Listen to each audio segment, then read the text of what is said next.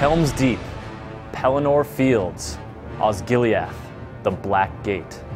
If the names of these battles send shivers down your spine, then you'll want to check out Lord of the Rings Conquest. The game puts you on the field for all the biggest battles from the Lord of the Rings and then some.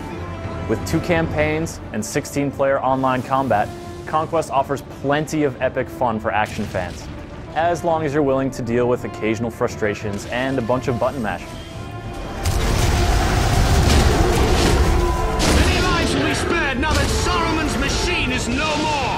Lord of the Rings Conquest gives you a chance to play as a variety of rank and file soldiers. There are four classes the warrior, the archer, the mage, and the scout, each with their own strengths, weaknesses, and special attacks that, while not exactly canonical, fit well within the video game setting.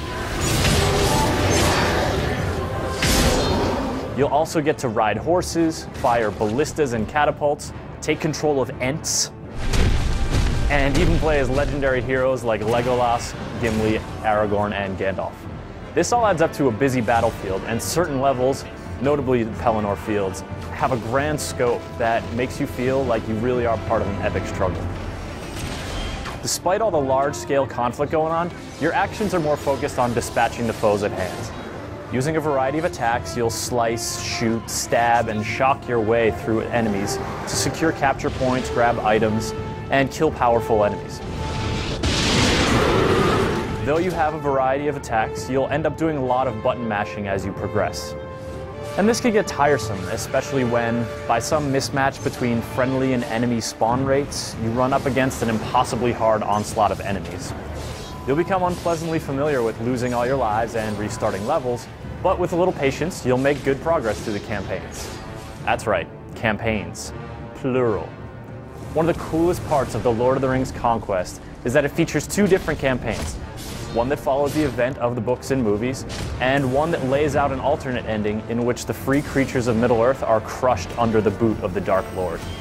Every campaign level is bookended by cutscenes that use footage from the movies to advance the plot. This is especially cool during the Evil campaign, when the footage is used to paint a completely different picture, one of rack and ruin that scours the land all the way to the Shire. It's a grim thrill to play as the Nazgul and literally shriek the life out of your foes.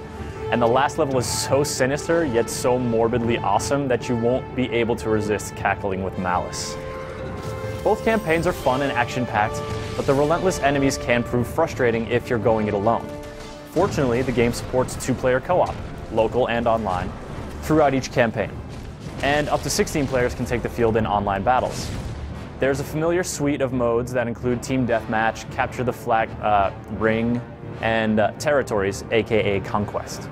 Pitting your skills against human opponents is fun, though playing the campaign to get a feel for the idiosyncrasies of each character's moveset is definitely recommended, lest you end up dying all the time and being completely frustrated.